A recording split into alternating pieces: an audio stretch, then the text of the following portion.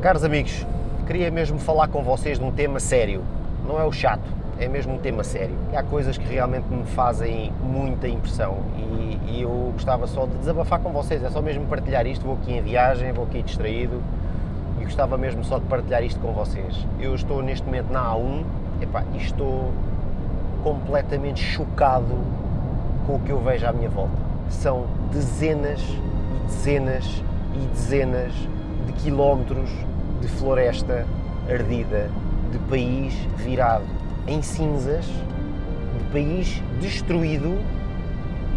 Pá, é chocante, a sério. Eu, eu, isto mexe mesmo comigo, pá.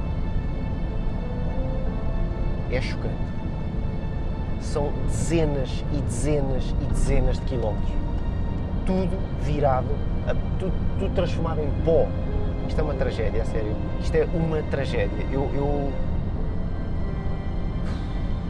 pá, custa, a sério. Eu, eu fiz recentemente, e vocês acompanharam comigo, a viagem que eu fiz com o Bentley de Cannes até Lisboa. Eu fiz mais de 700 km em França. Eu fiz outro tanto em Espanha. Pá, eu não vi uma árvore queimada. Eu entrei por Vilar Formoso e desde parei na guarda para comer e desde o fundão até Abrante, que são para aí talvez uns, sei lá, 150 km, é tudo queimado. Eu atravesso países lá fora com uma paisagem verdejante do país, do país Basco, em Espanha, uma, uma paisagem pá, memorável que ainda está gravada aqui na minha memória. Pá, entrei em Portugal e parece que tinha chegado à Lua. Pá, isto, é uma, isto provoca uma tristeza. Eu não consigo imaginar sequer a desgraça que se abateu sobre pessoas que perderam casas, propriedades, familiares, por causa da ingerência de, de outrem, por causa de interesses de outrem, tudo à volta do dinheiro.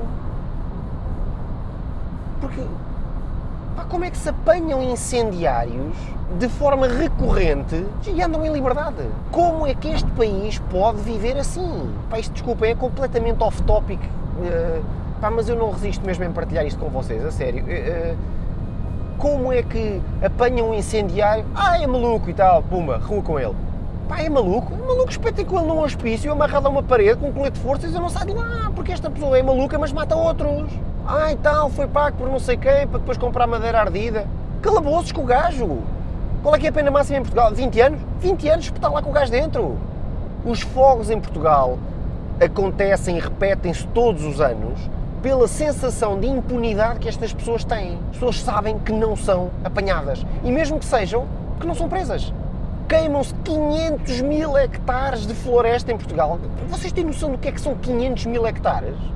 E, e ninguém vai preso. Ah, e tal, a ministra demite-se. Está bem, era o mínimo, não é? Era o mínimo puseram finalmente, finalmente, a Força Aérea a gerir os meios aéreos em Portugal para combate aos incêndios. Caramba, já não era sem tempo. Pá, porque isto em Portugal as pessoas não pensam, é, gera-se um calendário e depois as pessoas não pensam. Está no calendário que a época balnear acaba dia 30 de setembro. Este ano, dia 30 de setembro foi um sábado. Dia 1 de outubro, estavam 35 graus e a praia estava pejada de pessoas onde eu estava. Mas como a época balnear terminou no dia anterior, já não havia nada do Salvador e as praias já não são concessionadas. Pá, o que é isto, pá? Há que adequar as coisas, não é só olhar para o calendário. A época balnear acabou um sábado, pá, quer ver um bocadinho de bom senso, dizer, pá, olha, mas no domingo, certeza que as praias vão estar cheias de gente, vai estar calor à mesma, pá, vamos lá estender a época balnear mais um dia. Ou vamos lá manter os vigias, os nadadores salvadores na praia mais um dia. Não, é pá, o calendário diz que acabou, acabou. Como isto do plano Charlie, não sei das quantas.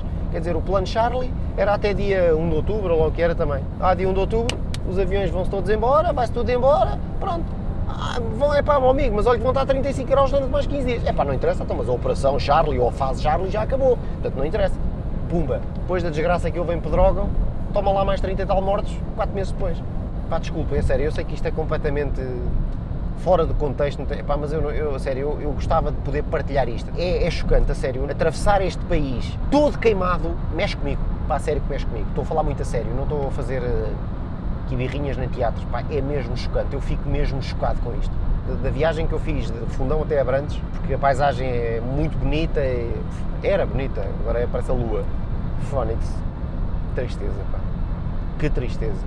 Eu espero realmente que as coisas mudem, a sério. Eu espero realmente que as coisas mudem e que para o verão, no verão de 2018 não tenhamos todos os canais de televisão a dar incêndios. E eu ouvi dizer que pessoas morreram fechadas nos seus carros e queimadas. Tristeza, pá, sério. Que tristeza.